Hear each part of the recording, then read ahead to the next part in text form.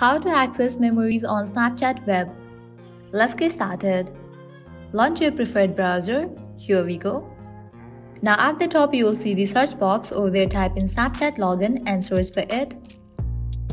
With that different website links will appear. Click on the very first one, login Snapchat, open it. With that you will be directed to the login page of Snapchat. Now over here you will need to type in your Snapchat account's credentials. So type in your username or email address.